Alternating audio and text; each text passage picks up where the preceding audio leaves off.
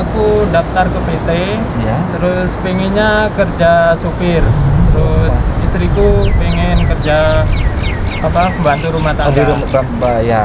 Tapi adanya cuman supir, eh adanya cuman apa kerja di masjid, bisa masjid. Bisa masjid. Nah, terus ya udah nggak apa-apa, aku mau kerja di masjid.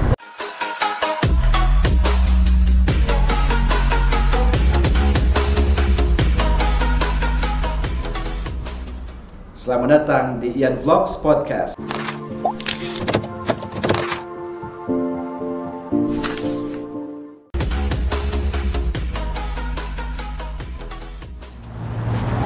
Assalamualaikum warahmatullahi wabarakatuh Teman-teman semua apa kabar? Ahlan wa sahlan Selamat datang kembali di Ian Vlog Podcast Teman-teman, Alhamdulillah Pada hari ini saya merasa bahagia dan senang Karena saya bertemu dengan salah satu saudara kita. Saya memanggil beliau ini Mas Ngadi. Ya. Beliau ini Masya Allah. Jadi begini teman-teman. Saya itu baru pertama kali Baru hari ini bertem- bertemu dengan Mas Ngadi. Padahal beliau ini sudah tujuh tahun bekerja di sini. Teman-teman pengen tahu kerjaannya Mas Ngadi itu apa? Jadi Masya Allah Mas Ngadi ini ternyata kalau istilah di Indonesia itu marbot kita ya. Ya. marbot saya kenapa juga senang selain juga ketemu kedua. Kalau tidak salah saya itu belum pernah ketemu orang Indonesia menjadi marbot di seluruh United Arab Emirates ini kecuali berarti Mas Ngadi ini sendiri. Berarti mungkin jangan-jangan hanya Mas Ngadi aja yang kerja sebagai marbot di seluruh Emirates saya nggak tahu nanti teman-teman yang nonton video ini bagi teman-teman yang United Arab Emirates yang mungkin tahu bahwa di mungkin di daerahnya entah itu di kota-kota Abu Dhabi atau negara-negara bagian yang lainnya kalau ada orang Indonesia yang bekerja sebagai marbot tolong di komen ya teman-teman. Nah inilah yang membuat saya akhirnya tertarik untuk bertemu dengan Mas Ngadi dan ingin berbincang-bincang santai. Kita akan sedikit menanyakan beberapa hal eh, mengenai Mas Ngadi. Mas Ngadi Assalamualaikum Mas. Waalaikumsalam. gimana kabarnya sampean Alhamdulillah baik. saya terima kasih ya sudah Mas Ngadi sudah memberikan waktu ke saya ini. Teman-teman ini tempatnya enak udaranya enak. Ini jadi ini latar belakang ini adalah sebetulnya ini masjid yang tempat Mas Ngadi bekerja tapi ini adalah bagian perempuannya ya. Ya, bagian perempuan. perempuan tapi karena ini eh, masa pandemik itu tidak ada untuk eh, perempuan akhirnya kita pakai taman tamannya ini untuk eh, berbicara santai dengan Mas Ngadi Mas Ngadi mungkin bisa diperkenalkan ke teman-teman siapa ada Mas Adi ini dan eh, kok bisa sampai di eh, Sarja ini seperti apa? Di masjid yang Masjid Nur itu teman-teman itu salah satu ikonnya Sarja. Masjidnya besar itu memang cantik bagus dan tempatnya juga mantap sekali di, di pinggir danau di sini. Silakan mas. Ya, aku ngadi dari Malang Jawa Timur. itu namanya cuma ngadi doang? Iya. ada tambahan lagi? Di Nggak paspor gitu aja? Di paspor harus ngadi- ada tambah lagi ya? Ngadi bin Miswi. oh iya berarti orang orang tua antum ya? Iya. iya.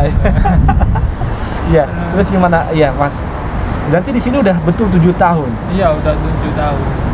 dan bisa nggak diceritakan ke teman-teman Mas Ngadi kok bisa sampai di di sini seperti apa tuh seperti apa kok bisa sampai di sini Dulunya aku daftar ke PT, ya terus pengennya kerja supir. Terus istriku pengen kerja apa pembantu rumah oh, di tangga. rumah ya Tapi adanya cuman supir eh adanya cuman apa kerja di masjid. Bisa masjid. bisa masjid Nah, terus ya udah nggak apa-apa, aku mau kerja di masjid. yang penting istri ikut juga Iya, yang penting istri ikut juga. jadi alhamdulillah emang butuh butuh juga ya Iya, butuh juga. Oh, Jadi Masya yang Allah. istri kerja di tempat masjid perempuan. mesin perempuan ya oke oh gitu ya Mas Adi nah Mas Gadi eh, ini Mas Gadi itu apa sih eh, bisa diinfokan ke teman-teman itu? Kerjaannya eh, yang rutin setiap hari itu masjid apa aja dan? Dari jam berapa sampai jam berapa? Ada nggak waktu-waktu tertentu gitu kerja? Aku kerjanya kalau yang bersih-bersih dari Sarika itu ada tambahan dua orang. Dari Ya. Sarika dua orang Iya. sebetulnya yang yang marbot yang daim yang yang yang di sini terus pas ngadi ya Iya. tapi plus ditambah sama dari perusahaan lain untuk membantu Iya. Jadi apa aku sebelum sebelum sholat 30 menit sebelum sholat Iya. Dibuka masjid Buka masjid. ya Oke. Ya. terus nanti setelah sholat 30 menit terus ngaji masjid itu berarti lampu segala macam Mas eh, Mas Ngadi juga. iya itu otomatis otomatis Otomatis. Oh, oke oke oke. Nah, terus Nanti kalau nyala eh, sendiri gitu nyala sendiri. Oke oke. Nah, terus jadi eh, kalau ngebersihinnya tuh gimana kan? Ini kan masjidnya besar sekali. Itu bisa bertiga doang. iya itu yang satu yang dari Sarika kerjanya di toilet Oh, Kan khusus toilet saja. Iya, Oke. khusus Ya. toilet Ya. terus satu Sarika lagi kerja di dalam Di dalam. Hmm. Nah, terus Mas Ngadi sendiri nah aku bantuin yang di dalam masjid itu Oh, bantuin pakai mesin besar Oh, oh pakai mesin besar, Iya. bukan mesin kecil. Makanya kalau gitu gimana kapan selesai? sebentar cuma 30 menit selesai, selesai. Itu karena mesin ini pakai mesin besar. iya Itu setiap hari. setiap hari Setiap hari ya. Waktu, Iya. waktu, waktu, waktu- biasanya waktu membersihkan mesin itu eh, jam berapa? mulai jam 9 9 pagi sampai iya, sampai jam setengah 10 udah selesai jam 9 sama setengah sepuluh selesai sudah tuh. iya Urusan dalam udah selesai. iya Nah, terus berarti selanjutnya tugas eh, eh, Mas Ngadi adalah yaitu tadi yang 30 menit sebelum sholat sama sesudah 30 menit sebelum eh, Iya. sesudah sholat. nah, ngunci terus buka Oh, oke. Ada nggak eh, waktu libur gitu? Nggak ada nggak di nggak- maksud libur? Nggak ada libur. libur iya Oh, nggak ada libur gitu ya? Iya, tapi kalau yang Sarika itu datangnya jam 9 nanti pulangnya jam 8 malam Oh, dari Sarika. iya 9 pagi sampai jam 8 malam. iya kerja nggak kerja harus ada Harus ada di sini? iya standby Oh, itu setiap hari. iya setiap hari Oh, masya Allah. Saya baru tahu kan teman-teman ini, alhamdulillah. Jadi ada informasi sebetulnya apa eh, dari Mas Ngadi ini yang teman-teman mungkin juga belum tahu kan. Saya sendiri juga baru tahu sekarang. terus di masjid perempuan ya ada tambahan juga dari Sarika Perempuan juga. Nah, perempuan juga Oh. dari Bangladesh Oh, begitu ya. Nah, terus itu yang terus istriku ya bantuin. Bantuin ya. Nah, Oh, gitu ya. Oke. oke. Ya, Kegiatan sehari-hari sama istri apa aja gitu berarti kalau seandainya tidak ada libur gitu. Apa hanya di sini aja atau juga keluar ketemu dengan teman-teman? nah, kalau mau jalan keluar kalau udah ngunci masjid Malam berarti ya? iya malam Itu habis sholat isya, Habis sholat isya baru bisa keluar ya? baru bisa keluar Oh itu bisa sampai su- su- subuh itu. Iya. oh gitu ya. Jadi sebetulnya tidak ada libur tapi ada waktu-waktu tertentu yang Mas Iya. Kandi juga sebetulnya ada ada waktu luang ya. iya Biasanya habis selesai sholat isya. Tapi kalau di antara waktu-waktu sholat itu kayaknya agak terganggu, terpotong-potong ya. iya Yang subuh terpotong sama duhur gitu. Iya. duhur sama asar. Jadi kalau habis isya itu waktunya bisa Luas, panjang iya, gitu ya. Teman-teman sebelum kita bincang-bincang lebih eh, dalam lagi ikuti pesan-pesan berikut ini dulu.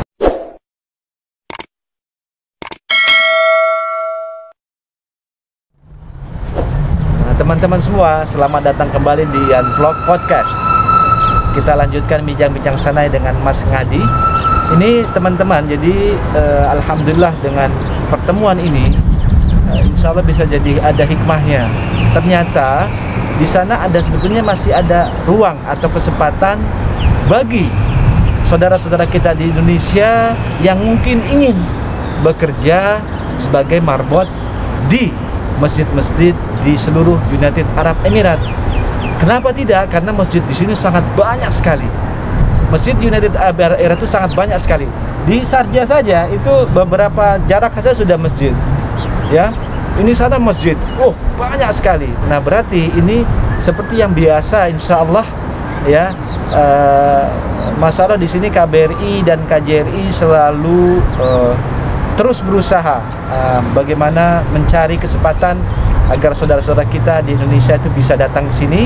Contohnya imam-imam masjid di Indonesia itu KBRI Abu Dhabi dan eh, eh, KJRI Dubai itu eh, selalu mengusahakan bagaimana bisa terus menambah imam-imam dari Indonesia biar terus banyak ya imam-imam masjid di Indonesia di masjid-masjid United Arab Emirates.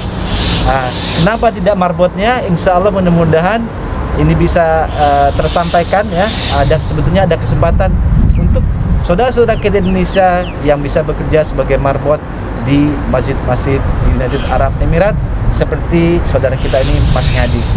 Mas Ngadi, kita lanjutkan ya. ya. Kira-kira eh, apa sih gitu ya? eh, suka dukanya Mas Ngadi ini kerja eh, sebagai marbot di eh, masjid ini. Ini masjidnya kan besar sekali sebetulnya ya. Saya teman-teman ini ini saya katakan lagi, Masjid An-Nur merupakan salah satu ikonnya Sarja di mana masjid ini memang luas, megah, bagus dan lokasinya sangat strategis sekali. Ya. Ayo Mas silakan bisa mungkin menceritakan kira-kira eh, bagaimana suka dukanya bekerja sebagai marbot. Ya, apa ya suka dukanya kalau buka masjid Iya. itu nggak boleh terlambat kalau Oh, terlambat itu banyak yang nungguin itu marah-marah wadah marah-marah semua itu memang itu Iya. ya betul ya. Ah. Oh, berarti jamaah yang mungkin rajin gitu ya, udah udah duluan Nunggu pengen ibadah sop duluan di Yang- iya, shopnya yang shop paling pengen pertama. paling awal, akhirnya mereka datang lebih dulu, masya Iya. Allah. Itu sebetulnya tepat waktu. positif memang ya. Mereka pengen banget untuk bisa mendapatkan di shop awal. Iya. Tapi ya itu mungkin di antara tujuh tahun itu pasti akan mengalami gitu ya, yang namanya manusia. Iya, ada ada terlambat, gitu. ketiduran. dimarahin ya itu sama jemaah yang oh begitu datang ya? pertama ya. Oh iya sih seperti itu ya. Oh itu, Iya. itu, itu itu dukanya ya. Iya. Tapi itu seni juga sih mas. Emang kalau lurus-lurus aja gitu, jadi tidak ada ceritanya nanti. Tapi karena memang sebagai manusia itu kan ada ada lupanya, hilafnya, ketiduran. Iya. Akhirnya jemaahnya udah pada nunggu di depan masjid, Kang Ngadinya baru nongol gitu ya. jadi udah pada marah-marah Nggak marah gitu, tapi marah-marah gitu aja ya. Tapi di Iya. sini nggak nggak sampai Nggak gimana. sampai kan. komplain gitu. Iya, cuman gitu. Oh kenapa terlambat ini kita gitu gitu ya. pokoknya jangan keseringan aja Iya. terlambatnya Oke oke. Terus Jadi ya. kalau subuh itu mau buka sebelum sholat subuh itu Iya. itu yang apa suka terlambat itu. Oh iya, Iya. subuh karena kan Iya, itu payah itu bangunnya. iya. Emang yang yang paling berat kayaknya emang subuh ya. Iya. Apalagi sekarang lagi musim kayak musim-musim Musim dingin. dingin. Kayaknya pengennya tidur aja gitu ya. Iya. oh berarti itu sebetulnya satu yang eh, duka yang sebetulnya sangat eh, manusiawi sekali ya. Di antara waktu jenjang tujuh tahun itu pasti ya ada lambatnya bangunnya kesiangan gitu kan. Jadi itu aja tidak ada selain itu ya dukanya itu. Ada lagi kalau waktunya ada kerusakan apa gitu, speaker apa lampu. Iya.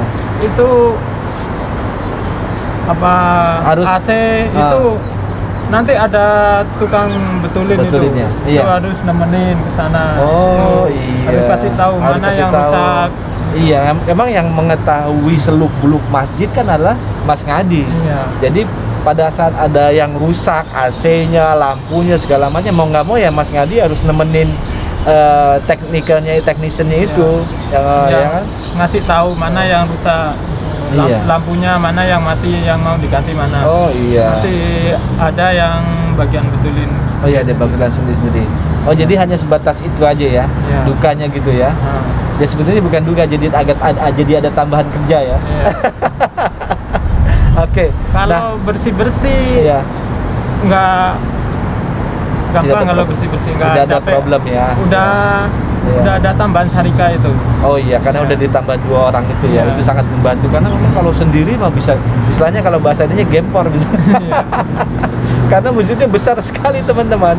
Iya iya, oke oke. dan kalau pagi itu bantuin itu sarika yang bersih bersih Iya. terus sorenya ngelapin Ngelapin gitu ya. Iya, Oke oke. ngelapin kadang kitab itu Di- Quran dibalikin. ya Hmm. itu dilapin Dilapin juga. Oh gitu ya. iya Tapi sekarang kan dengan adanya pandemi ini kan Quran nggak di luar sekarang kan. sekarang dipindah ke dalam semua. dalam semuanya Iya, gitu. Karena memang sekarang kan tidak boleh, hanya hanya batas sholat saja. sholat saja. Jadi nggak ada yang nong di masjid terus baca-baca Quran karena itu di sini saat ini tidak diperbolehkan Ya. pada masa pandemi ini. setelah sholat 10 menit harus keluar Keluar, iya, betul. betul. harus dikosongin Iya. Oke teman-teman, sebelum kita lanjutkan, ikuti pesan-pesan berikut ini dulu.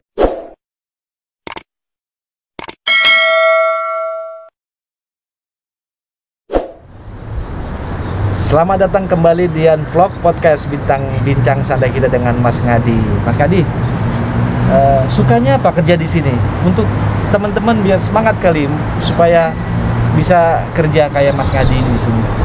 sukanya di sini apa ya Gajinya gede. ya gajinya ya Gede. lumayan lah Tuh, alhamdulillah tuh. Jadi ini alhamdulillah ya gajinya itu teman-teman sebagai informasi juga ini rumah dapat. Jadi rumah dapat. Jadi udah nggak mikirin sewa-sewa rumah. Ini sebetulnya paling paling utama sekali di karena di sini sewa rumah itu atau tempat tinggal itu mahal. Jadi kalau sudah rumahnya sudah di provide ya diberikan oleh perusahaan ya dan dalam hal ini adalah Auqaf maka itu sudah sangat suatu nikmat yang sangat luar biasa? Ya kan? Iya. Pada- terus gimana ya dia selain selain gajinya alhamdulillah terus? Terus kerjanya apa? Jadi nggak begitu capek lah. Iya. pokoknya udah ngunci masjid iya. udah santai. Santai gitu ya? Alhamdulillah. Habis asar terus kalau biasanya kalau bukan pandemi habis asar nggak dikunci. Iya.